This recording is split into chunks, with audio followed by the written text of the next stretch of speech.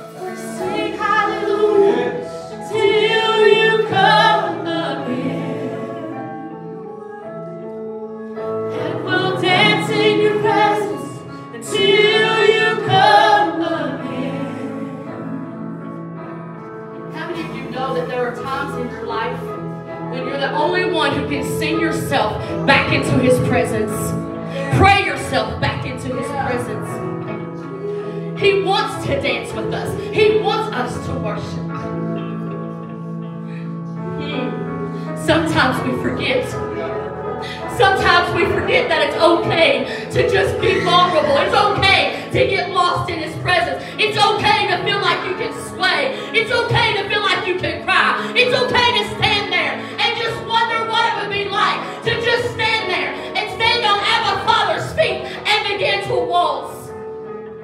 Because see, that's what it is for me. When I get saturated into His presence,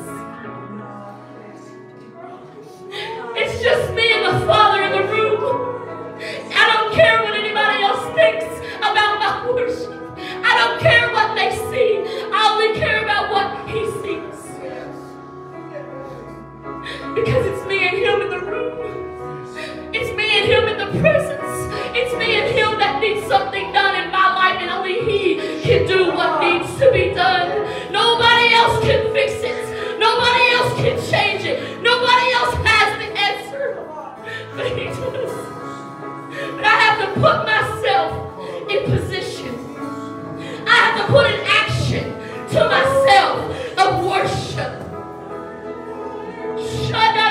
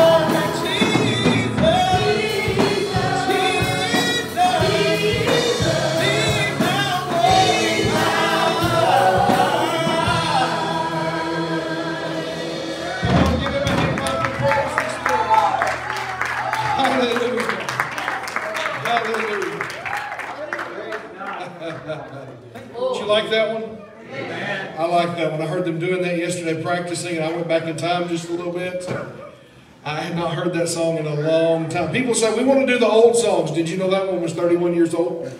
On, Pastor. It was a Ron Kenoly song from 1991. Those of you that were Kenoly fans back in the 90s, I had a cassette tape of him.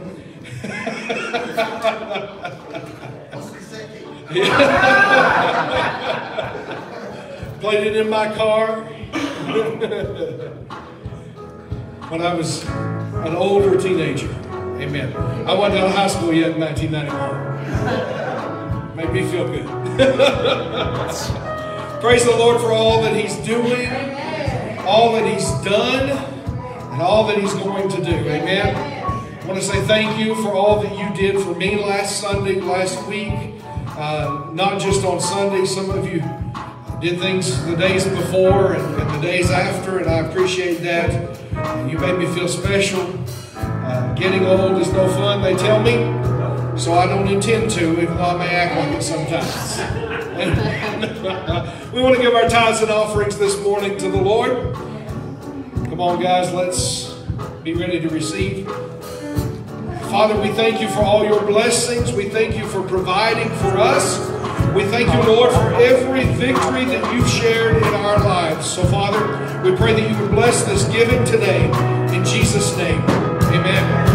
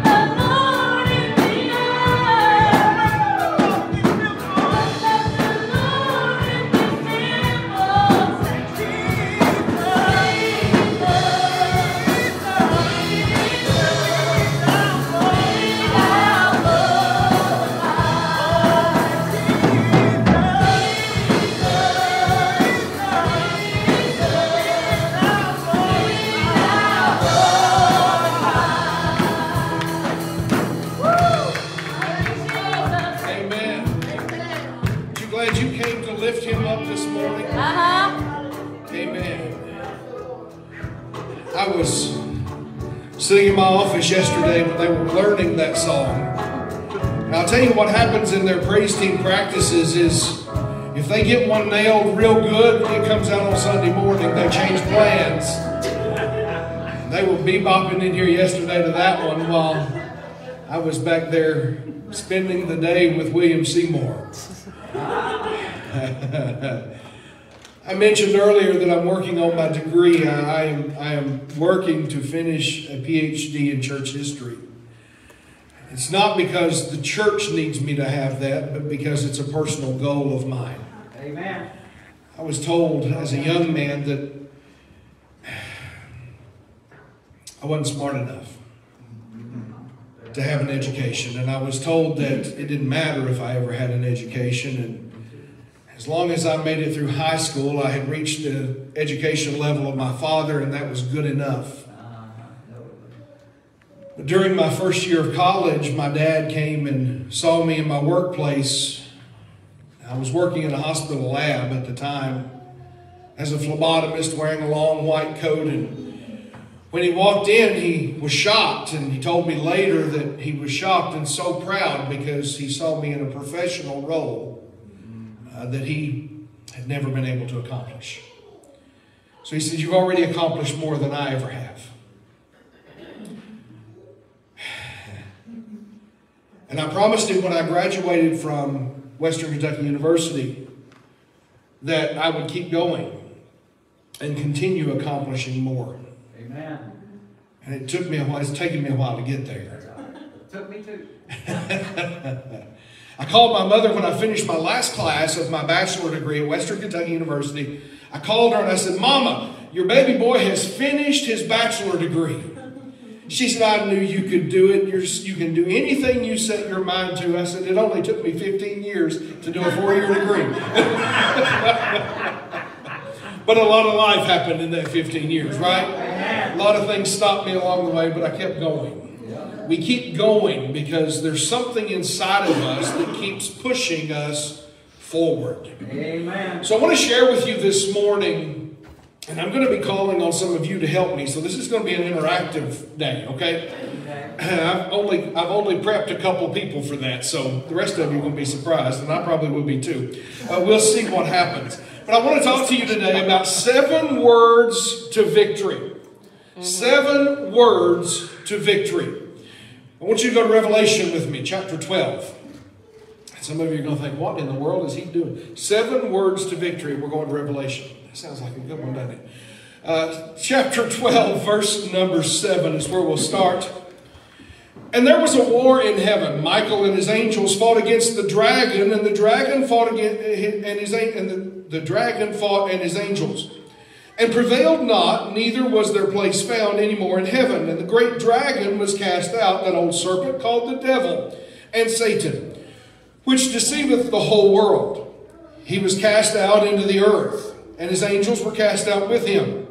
And I heard a loud voice in heaven saying, Now is come salvation and strength and the kingdom of our God and the power of his Christ, for the accuser of our brethren is cast down, which accused them before our God day and night. And they overcame him by the blood of the Lamb and by the word of their testimony. And they love not their lives unto the death. Therefore, rejoice, ye heavens, and ye that dwell in them. Woe to the inhabitants of the earth and of the sea, for the devil is come down unto you having great wrath, because he has known, because he knoweth that he has but a short time. I want you to go back and focus with me just for a second on 10 and 11. I heard a loud voice in heaven saying, Now has come salvation and strength in the kingdom of our God and the power of his Christ. For the accuser of our brethren is cast down, which accused them before our God day and night. And they overcame him by the blood of the Lamb and by the word of their testimony. Stop right there. Father, we thank you this morning for the worship today. We thank you for the beauty of this congregation. We thank you for all of those that would join us online. Father, we praise you, Lord, for all of the strength that you give and all of the wonderful things that you've done in our lives. So, Father, we ask that you would add your blessing to your word today and that you would anoint us to hear, receive, and to share what God you have given to us today. In Jesus' name. Amen. Amen. And amen. Seven words to victory. Here they are. Give me the seven words there, Jalen. You had it right. There we go. You cannot overcome unless you have endured. Go ahead. Seven words to victory. Right there it is. Yeah. You cannot overcome unless you have endured. Can I tell you that just because you see a battle doesn't mean that you will have victory over that battle? Come. Just because you have seen warfare doesn't mean that you have fought the war. Right. Go ahead. Yeah. Just because you have read the testimony doesn't mean that you have the testimony. Come on. Amen. Come on. I spent the day yesterday with my nose in books reading about William Seymour, who is considered an uneducated, mainly uneducated uh, African American minister in the early 1900s, late 1800s, who developed his way across the country and ended up in Los Angeles uh, in a place of being padlocked out of a church because they didn't like the way he preached. So the, the pastor, a female pastor, padlocked the church to keep him from coming back for the next service that he was supposed to preach. He ended up at the home of some friends. Uh, you didn't know you were getting my history lesson, but I'm going to share about William Seymour for just a minute, then we'll move on. Uh, he ended up at the home of some friends. They began praying day and night, having dinner together. And one night, while having dinner, the man of the house fell out of his chair onto the floor, speaking in tongues. Come on. William Seymour had not experienced that yet at that point, but it sparked a prayer meeting revival in those people's home that lasted 24 hours a day. And on the third day, the crowd was gathered outside the house on the front porch to the point that the front porch of the house collapsed.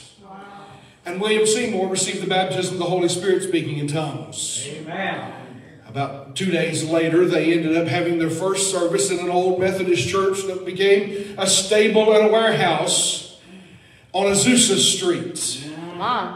The Azusa Street revival broke out in an old warehouse building with, uh, with, with, with hand uh, uh, uh, hewn uh, boards as their benches and a pulpit made out of wooden shoeboxes.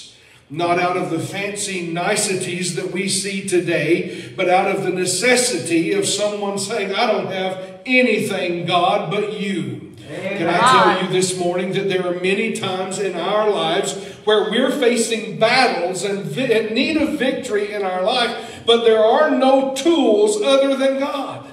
There is no victory other than what God can give you. Now, the tools that we have are those things that God has provided. They do not rest in our abilities. They do not rest in our voices and our vocal abilities to sing well and to be pretty. They don't rest in our bank accounts or in our vehicles or homes. They don't rest in the job that you may have and the money you may earn, but they rest in those things that God has given us the love of His salvation that is shed into our heart through Christ, the ability to have joy when all of the world is falling around, uh, uh, falling apart around us, the ability to have peace that passes all human understanding, the ability to understand that this life does, didn't give me anything, as the old Pentecostal church would have sung. This world didn't give it to me, and, and, and- and the world can't take it away. This joy that I have, this peace that I have, this, this love that I have, the world didn't give it to me, and the world can't take it away. Can I tell you something this morning?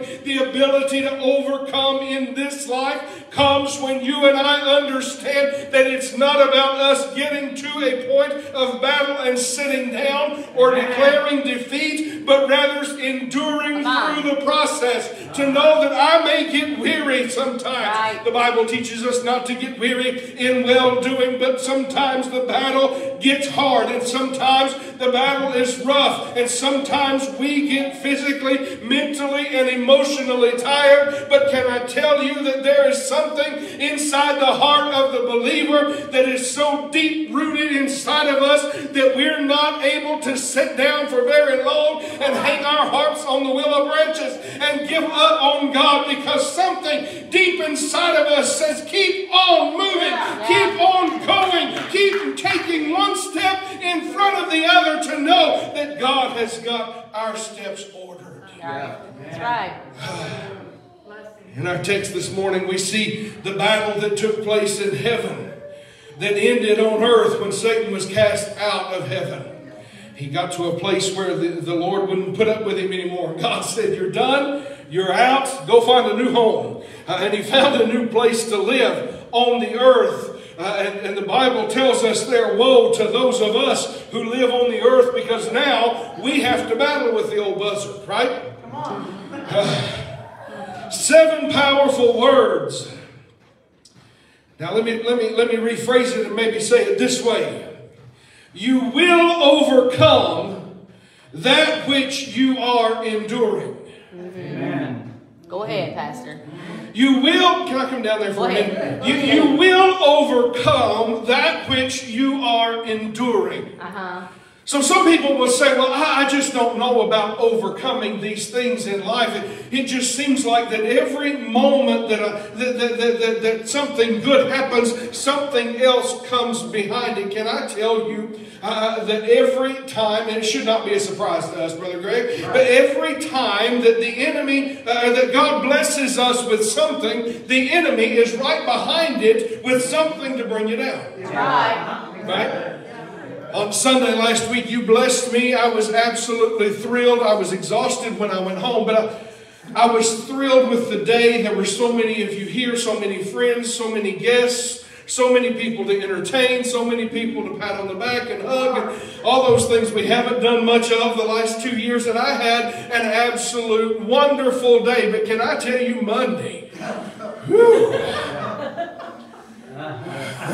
Come on. whew, By Tuesday, I was quoting the, the, the funny that Melissa shared on my Facebook, uh, uh, Foghorn Leghorn, saying, "You boy, you are about to exceed the limitations of my medication." By Tuesday, I thought, "Good Lord, what have I got myself into this week?" Right? That's what happens when God blesses us. The enemy wants us to be defeated. So when your blessing comes, the, the, the enemy is right there behind it to deflate you and try to bring you back down Preach, to a place where he can walk on you. Can I tell you that here's the thing that the enemy is too, sorry for saying it this way, but too stupid to understand. Uh-huh. Even though he thinks he may get us Preach. down, the child of God has steps that are ordered by the Lord so that we can get up and keep on walking just a little bit further. Go ahead. Bless you, Lord. Preach, Pastor. I remember in the Baptist church I grew up in, they used to sing a song that said, Keep on walking. You got to keep on walking. Walking in the light of the Lord. See, some of you are that old too. Oh, Something is missing in the church today that the old timers had. Come on. Go ahead. It is the tenacity. Go ahead. Preach. preach. and Preach. get myself in trouble before I get out of here today. She, she's going to preach tonight, so I can go hide in the office for a while if you get me up too bad on this one. Uh, we, we are missing the tenacity Uh-huh. to keep on going. That's right. Preach. It's truth. And I'll take it one step farther and say that over the last two years, the enemy has exposed us. Uh huh. Preach. Amen. The enemy has exposed the church for who we really are. That's it right there. Yeah. Come on. Come on. Help us, Jesus. I've shared with some of you, I've spoken with pastors who said they are disheartened by people that have quit going to church because of the COVID virus, and they have they are people that they never thought would give up on the church. Not only have they given up on the church, they have given up on God. Help us, Jesus. turned completely from Him. Help us, Jesus. Because we've been in a season where the government said, you can't do this, you can't do that. Uh-huh. Preach, Pastor. Help him, Jesus. We have done our share. We've done what we were supposed to do. Even as recent as January, when we had a little COVID outbreak in here, my house was quarantined for 10 days. We separated, put seats, uh, signs back on the seats, spread yourselves back out when we come together. Don't shake hands, don't hug, don't do all that stuff. But can I tell you, that's not a way of life. That's right. That is a temporary fix to a temporary problem. Go ahead. Don't get me Go ahead. Preach right there. Go ahead. Many times where you and I sit in the point of giving up is in the lack of understanding that the problem is only temporary. And if we will endure through that season, Come on. Uh, Isn't like this last week the temperatures came up just a little bit. I started to see things coming out of the ground, and, and daffodils are blooming, and all of those wonderful things of spring. You know that spring is my favorite season because the colors are bright enough for a colorblind person to see. I can't see fall colors when you all are bragging on how pretty, pretty it is. It's just brown and dead to me. But spring, I can see the bright colors. Daffodils are one of my favorites, and the red tulips were my grandpa's favorite. I love those color combinations because they're bright and they're cheery. And I was sitting in my office at work, and we've not turned the air conditioning on yet, so it was warm the other afternoon in my office with the sun coming through the windows. And people had said, It's such a beautiful day outside. And I said, I don't know, I've been inside, but I'm looking through the window at it. Can I tell you, sometimes we get into a place where we fail to understand the season that we're in. On that afternoon, as I was looking out and I was seeing people out and about and enjoying the weather, and people were uh, uh, uh, just doing their thing outside. I came to realize without even comprehending up until that moment, the winter is coming to an end. Come on. Hadn't even thought about it. You know, the calendar doesn't say that it's spring quite yet. We'll get there in the next couple of days, but it's tomorrow or Tuesday. Today. Is it today? Yes. Is it today? I haven't looked at my calendar either. Good timing, Pastor. to, to understand and know Uh huh. seasons change. Right. Yeah. And if you can survive and endure through the hard season of death and darkness, Uh huh. Come on. spring comes right around the corner. Yeah. Thank you, Jesus. Life comes right around the corner. That's why David said in Psalm 23, Yea, though I walk through the valley of the shadow of death. He wasn't talking about a funeral, which is where we use that verse of Scripture. But if we understand what he's talking about, he's talking about the hardest moments in life. If I can endure through those hardest moments in life, Right. I don't have to fear any evil, for God is with me. Come on. In every moment of my life, He's there. Yeah. In the dark moments when it seems like the enemy might get the better of me, He's there. That's right. In those moments when I feel like I may not make it another on. step, He's there. And can I tell you this morning, church? Let, me get back up here and share a verse, and then I'm coming back down. Uh, uh, we, I'm having fun today. Uh, we, we, we, we tend to get to a place where we don't understand. Romans 12 21 says, Be not overcome of evil, but overcome evil with good. Right. Can I tell you that if you and I understand, this world doesn't need another evil deed to make Come up for on. the evil deeds that are taking place. What this world needs today is a good shot of the goodness of Jesus alive and well in this earth that will change this situation. Come on. Help us, Jesus. Help us, Jesus. 1 John 5 and 4 says, Whatsoever is born of God overcometh the world. And this is the victory that overcometh the world, even our faith. Mm-hmm. Even our faith. Can I tell you, we serve a faithful God. Yes, amen. And He is faithful to us in the long time, Right. not in the short time. Right? Right. In the perseverance, He's good to us. Yeah. And it lasts longer than a short season. Come It's goodness that will sustain us. Sister Sims, will you share?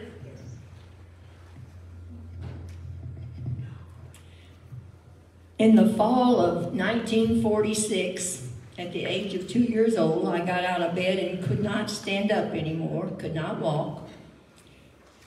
My family thought my legs were asleep, but they weren't. My mother took me to the doctor, and I had infantile paralysis, or what we know as polio. So I was taken over a hundred miles away to a hospital and left with my mother crying and not wanting to leave her baby. But I stayed there for several weeks, maybe even a few months. But God has been good to me. And when I finally got to go home, the doctors told my mother and dad that I wouldn't be able to walk anymore, that I still couldn't walk. But they took me home, and because of the prayers of a praying mother, God heard her prayers. And with the help of my older brothers and sisters, they taught me to walk again. I had to go to clinics with my mom and all of that kind of stuff. But God healed and strengthened Yes. me. Amen. And, you know, the results of the polio were still there. But I wasn't in an iron lung or I wasn't, you know, I had to wear braces for a while. But my mother took me up to the front one night at church and had them pray over me. They took those braces off of me and I never had to wear them again. I God has seen me through over 75 years of this. Thank you, Jesus. And he has helped me to accomplish more than I ever thought I Thank you, could in my life. Thank you, Jesus. God. And she's still walking. Yes, amen. What the doctor said couldn't happen, she's still doing today. Come on. Tell me that's not a testimony. Yeah. That's a testimony of overcoming the obstacles of this life, trusting in God. She gave testimony to her mother and her mother's faith, her brothers and sisters and their faith, their trust in her that she could. Good grief, do you understand what just happened there? Come on. You just heard a whole bundle of testimonies all in one. Uh-huh. Because of the goodness and the faithfulness of God, and she still walking. And she said, I'm not walking as fast as I used to.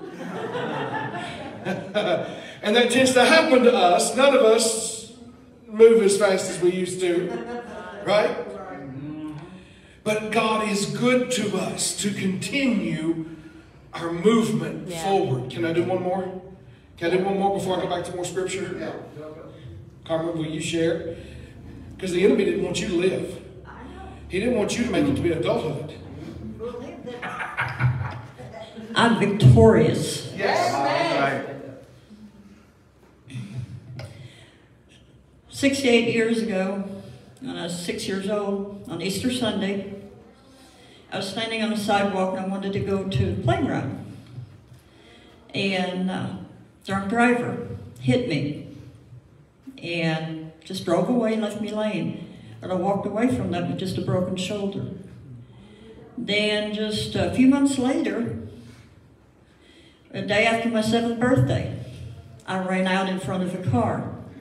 It hit me, threw me 250 feet, and shattered my skull. They didn't think I was going to live, but God had other plans. I, I came out three months later out of the hospital. A week to the day that I got out of the hospital, guess what? I ran out in front of a car. I guess I like playing out in the street, I don't know. I walked away from that. Not an injury, nothing. A few years later, I got hit again.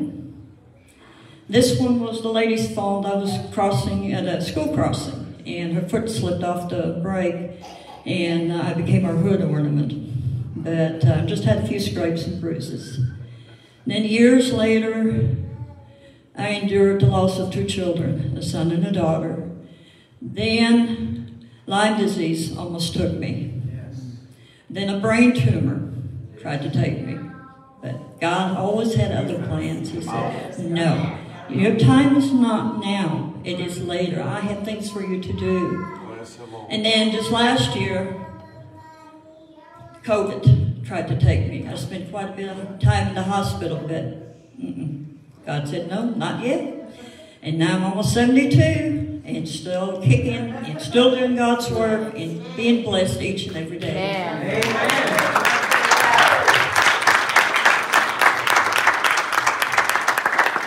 And gave testimony this morning to the praise team that what the doctors thought was going on was not going on. Amen.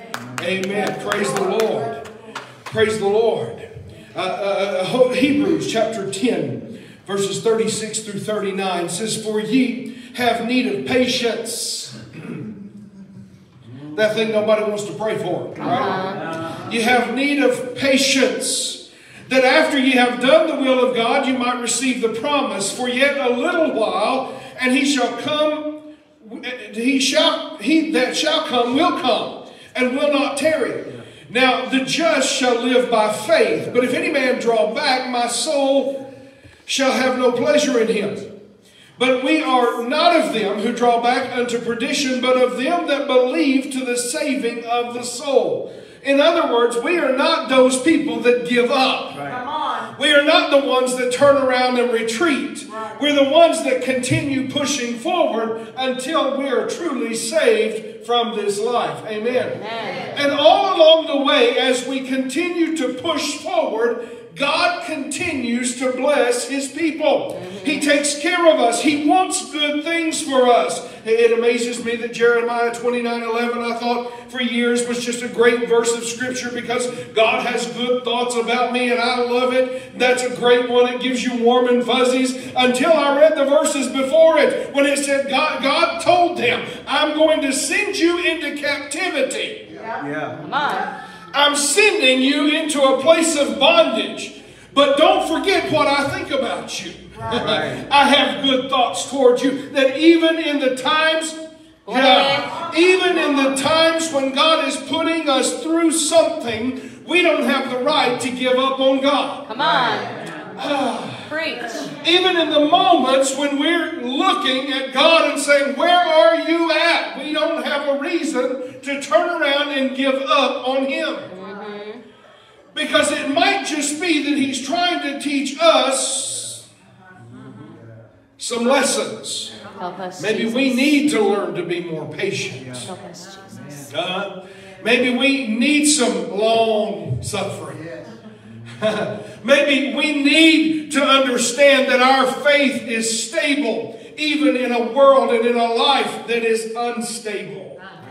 You see, I've come, I've lived long enough now to understand that the only stability I have in life is my relationship with God. Yeah. And the only time that it gets unstable is because of me. Right. Not because of him. Right. Because he never fails. It's encouraging to us that he spoke to Peter and he said, Peter, upon this rock I will build my church. When we look at a rock, we understand that it is something that is often unmovable. It is something that is sturdy and strong. I remember growing up in the creek down behind our house, there was an overhang uh, over the creek, and that was a good place uh, to get a good cool drink of water that was spread, uh, come from a spring, and it was trickling down through there. But there was this one place that about that high, up over on the high side of the bank, uh, there was a rock that stuck out about you know, all the way over the, the, the, the, creek there. And I could stand on top of that rock. I never was concerned about it moving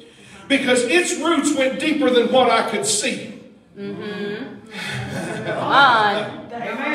You see, when you and I have rooted ourselves in the Word of God, there are roots that are deeper than what mankind can see, and the enemy cannot understand how deep your roots are. He can't pluck you up by the roots like you do a plant or a weed. He can't pluck it up and see just what kind of system you've got underneath you because that dirt is immovable. It, you cannot be shaken, you cannot be plucked out, ah. you cannot be removed unless you are the one doing the removing. Uh huh. Come on. Thank you, Jesus. The enemy has no place to tell you you can't succeed and that God won't provide for you. Yeah. JL, you ready? So eight years ago, uh, February, I was given the opportunity uh, to work for a company. Um, and when I got there, I heard the Lord say, learn everything that you can. Um, I didn't know where it was going to take me, but He said, learn, pay attention, uh, do everything that you can do while you're here. Um, so I worked for that company, and there were nights and days and weekends, months upon months, of going in overnight, um, missing church, um, just doing everything that I could. Um, I felt like they they knew that I was there for a reason, so they worked me and worked me and worked me. Um, and so last July, God said that it was time to go. And I questioned God. I said, God, I've been here for seven years and I've learned all this stuff, and now you want me to leave and have to start over. He said, if you trust me, you'll just do what I asked you to do. And so I left there um, and I started my started my business. And for a month, I was just praying. I said, God, I'm going to trust you. Whatever you have for me to do, that's exactly what I'm going to do. About a month after that, I got hired by another company where I first started out, um, and I was there for about six months. And a position came open, and I said, God, I've only been here for a little while, so there's there's no way that I'm going to get get this position. And how God works, there was two people that were ahead of me that have been there before I was there. And I said, God, I'm just going to apply whatever whatever your will um, for my life be. That's that's what I'm going to go with.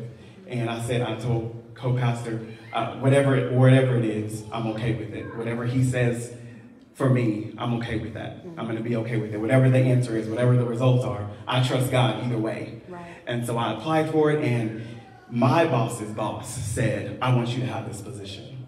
Um, I know you haven't been here very long, but I know your history. I know what you've done, where you've been, and I know your what you've gone through. I know what you've done at your other company, and I want you to have this position. But you got to go through and apply like just like everybody else.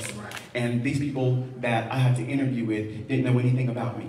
They knew my name, but that's about it. And I interviewed with them, and about a week later, um, I got a phone call offering me a director's position um, at this company. Um, and I just thank God and I thank Him for His faithfulness. And I thank Him because He didn't have to allow things to be so. But I trust Him and I trust His will for my life. And I'm just grateful, amen, that He would see fit to, to have me walk into this place. Yes. You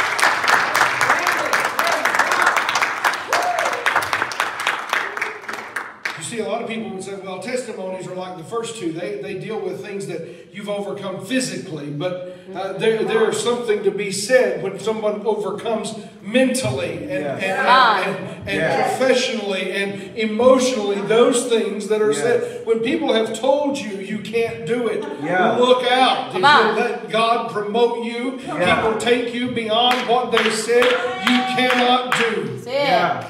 Shh. James 1, verses 2 through 4. My brethren, count it all joy when you fall into diverse temptations. Knowing this, that the trying of your faith worketh patience, but let patience have her perfect work, that you may be perfect in entire, wanting nothing.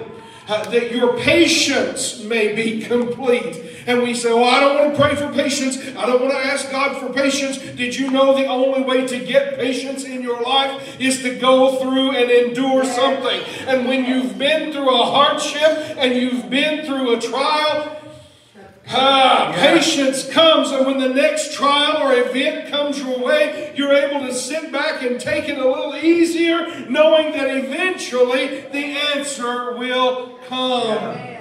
David said, Weeping may endure for the night, but joy comes in the morning. Can I tell you that I've learned that even in those moments of weeping and not understanding what's in front of me, my joy is still inside there somewhere. It doesn't just drop out of the sky on me, it doesn't just come at random moments unseen and not knowing where it is. But I've learned to encourage myself in the Lord to, to testify to myself. There are times when I get down that I just start testifying. Come on. And I don't have to tell you my testimony. Sometimes I have to tell myself. Yeah, yeah. Go ahead. I go back to October 15th, uh, 1988 at the Pine Grove Separate Baptist Church on a Saturday night around 9 o'clock when I knelt at the mourner's bench and I gave my heart to the Lord and I made him my Savior at 13 years old. I go back to that moment uh, in, uh, on, on E- Easter Sunday night in a revival service at the Parks Ridge Church of God when heaven came down on the back pew where I was sitting. They were shouting in the front and I was kneeling in the back with my head between my elbows trying to figure out what in the world was going on in sanctification hit my life and the joy of the Lord bubbled over me. The shouting moved from the front to the back and they were dancing circles around the back section of the church where I was sitting because that's where heaven came down and met me that night. I remember the Sunday night when I grabbed hold of the altar and said, God, I'm not letting go till you fill me with this Holy Ghost. If it's real at all, I want it.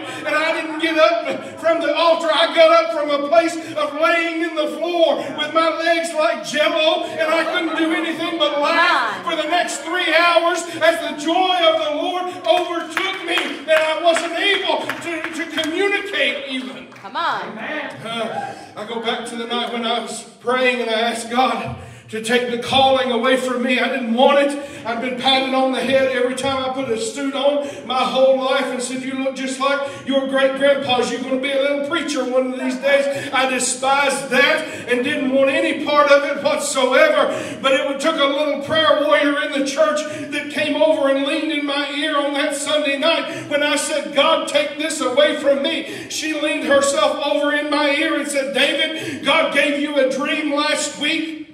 Ah! And you've, you've tried to be silly about it and ask him what did it mean, but God said you already know what it means. You need to get up from the altar, quit asking him to take the calling away, and do what he has called you to do. And I got up that night and went to my pastor and said, God has called me to preach at the age of 19 years old. It was a couple of years later, two or three years later, that, that I was battling asthma problems so bad that I was carrying two inhalers in my pocket and I left church on Sunday morning from an asthma attack and we drove all the way to Beattyville, Kentucky.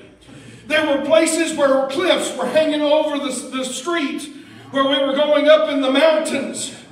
Melissa and I were dating at that time, and we got up to this little church and we talked with the pastor for a while. It was Brother Ken Turner, and I shared some of that testimony that I had had to leave church that morning while I was preaching. And Brother Ken said, I knew there was a reason that God had me to ask you two months ago to come all the way up here on a Sunday night. I don't ask anybody to travel that far for one service, but God told me to have you come for one service, and it was so that He could heal you tonight. And He laid hands on me. We about turned over the communion table together as God began to move in my life. I walked out of that church that night, threw both of those inhalers away, and didn't have that problem for many years to come because God healed me of a complete, full blown asthma. At the age of 23, I was sent home from work having chest pains. I, I was went home and I, I, I just took some aspirin and laid on the on the couch, slept for a while. A few days later, in stubbornness, instead of going to a doctor in the ER or anything like that, I went to a chiropractor. Told him what had happened. He said, It sounds to me like, young man, that you had a heart attack. So we went a few years later and had some tests done. Now, notice I said a few years. when I had other problems a few years later, and they confirmed that indeed I had had a heart attack at some point in my past. They didn't know the date, but I knew when it happened. The doctor said you've got some damage done. Your heart's enlarged a little bit. You've got these issues going on. A few years ago, I went to another doctor, ran a new set of tests after being prayed for a few times, and the test didn't show anything about a previous heart attack. Amen. No enlargement of the heart. You're healthy, strong, you're just fat.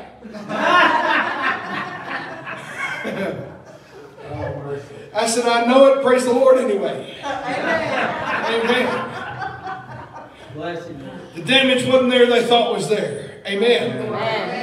Ephesians 6, verses 10 through 16 says, Finally, my brethren, be strong in the Lord and in the power of his might. Put on the whole armor of God that you may be able to stand against the wiles of the devil. For we wrestle not against flesh and blood, but against principalities, against powers, against the rulers of the darkness of this world, against spiritual wickedness in high places. Wherefore, take unto you the whole armor of God, that you may be able to withstand in the evil day, and having done all that you can do, stand. Yeah. Stand therefore, having your loins girt about with truth, and having on the breastplate of righteousness, and your feet shod with the preparation of the gospel of peace. Above all, taking the shield of faith, wherewith ye shall be able to quench all the fiery darts of the wicked. Ah, yes. How, how much time I got? Preach, Pastor. I gotta hurry. Preach. Can I tell you there have been moments in life, testify just a little bit longer. There have been moments in life over the last almost 23 years of our marriage that we've nearly given up. There have been times when we wondered if we were going to make it anymore. There were times when the enemy thought he had us down financially. Come on, you've heard me talk about that wish list that had ketchup and mustard and stuff on it. But we didn't have anything in our house. 50 cent boxes of, of spaghetti and 50 cent cans of, of spaghetti sauce, and we survived for weeks off of that until somebody would come through with a bag of groceries or, or give us a handshake that we could run and catch the sale items at the grocery store. It's all we could afford, and we struggled through it and we wor- waited and we wondered. We have been through so many things in our marriage together, uh, just on the marriage side that you don't see. But can I tell you, we've also been through some things in the church that has nearly destroyed us more than once. We've seen some cruel people in the church. Uh, we've seen some cruel people in leadership. We've seen some cruel things happen, some, uh, some, uh, some, some criticisms that were meant to destroy and take us down. But we've learned to endure through those things. Right. Why? Because you can't walk around with your feelings on your shoulders. You can't walk around understanding that, well, this person's mean to me and everybody is supposed to love me. Can I tell you, Jesus said if they hated me, they're going to hate you. Right. So I count it as a joy when I fall into those moments uh, that the enemy is sending accusers. The Bible says that the, the accuser of the brethren who accused day and night was cast out of heaven and onto this earth. So guess what? We've got accusers when the enemy begins to send them our way. We need to learn how to square our shoulders back and stand on the faith of God and understand that this life is for us to endure. On. Philippians 4 and 13 says, I can do all things through Christ, which strengthens me. And Paul, right there, that's a champion verse for many of us in the church. But if you read what's ahead of it, Paul is saying, I've had times in my life when I'm hungry. I've had times in my life when I'm full. I've had times when I've had food, and I've had times when there's been none. But I can do all things through Christ who strengthens me. Understanding that our strength and our joy doesn't come from the things of this life, but they come from a supernatural source that you and I have the ability to lock arms with God and know that regardless of what comes my way, regardless of what uh, happens in this life, regardless of what the enemy may throw at me, and he will pull everything he can to, to, to bring destruction to you, to defeat you, to cause you to give up. But my brothers and my sisters, can I tell you this morning, we are part of the family of God. And when the enemy attacks you, he attacks the family. Can I tell you, we need to learn to stand for the family in the house of God and know that my prayer is not just self-centered, but my prayer reaches to your house. Yeah, yeah. When you stand, I stand. When we stand together, the enemy cannot defeat us. Hallelujah. When we learn to stand together, the enemy cannot defeat us. He cannot defeat us. Anybody ever play the game Red Robin? Or Red Rover? Red Rover. When you were a kid, I hated that game. In any game, I was always the fat kid that was considered a weak link. So even in Red Rover, if they dared to come through me, I knew it was going to hurt. And I wasn't going to be able to hold the line. So I like, go.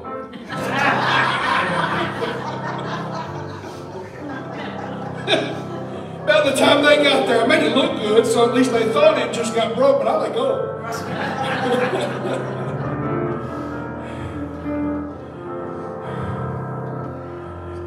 Can I tell you, you've been dared by the enemy. You've been dared to see if you can break through his defense. Come on. And Can I tell you that if we lock arms together, he don't stand a chance. Uh huh. I don't know. I came to church this morning to encourage you. I I had to be encouraged a little bit this week. Right? I needed some encouragement this week. I had to encourage myself in the Lord. I came to church Wednesday night. I texted Melissa Wednesday afternoon. I said, I don't even want to teach tonight. I just don't want to. I'm tired. I'm kind of feeling weak. I just don't want to. And she said, I'm sorry. I'll pray for you. She didn't offer to teach for me. Nope. She did what a good wife does. She put me in my place. I pray for you. I came to church Wednesday night and we talked about Romans chapter 4.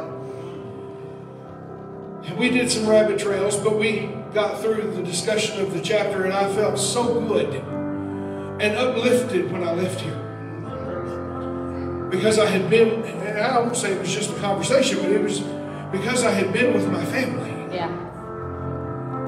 So I came this morning excited to see you. I didn't know there were going to be so many of you. I didn't know we were going to have a new faces this morning.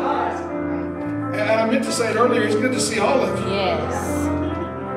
It's good to see all of you. If it's your first time here, you're not a guest anymore. That's right. Amen. If it's your second time, you're already family. That's right. Amen. If it's beyond the second time and you just ain't been here a while, where you been? Yeah.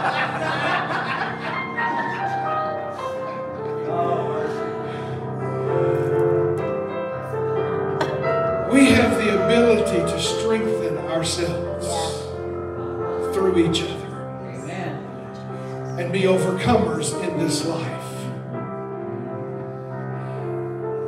I want you to stand with me this morning.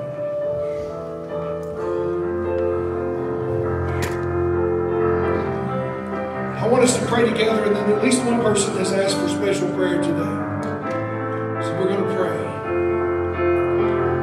And we pray together. Father, we just praise you. We thank you, Lord, for your word. We thank you for the testimonies that have been shared this morning. We thank you, Father, for encouraging us, for lifting us up, for giving us the ability to see beyond the flaws and the faults of this world, to understand, God, that you are able and you are faithful to us, Father, if we'll stand up and be faithful to you. So, Father, we praise you. We thank you this morning, God, for encouraging us. And I pray for my church family today, my new friends, my old friends. God, that you would encourage them and bless them today to keep going. If they came this morning thinking about giving up, Father, encourage them to keep going a little farther.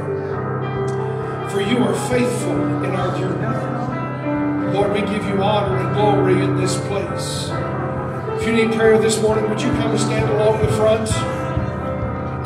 We want to pray for you.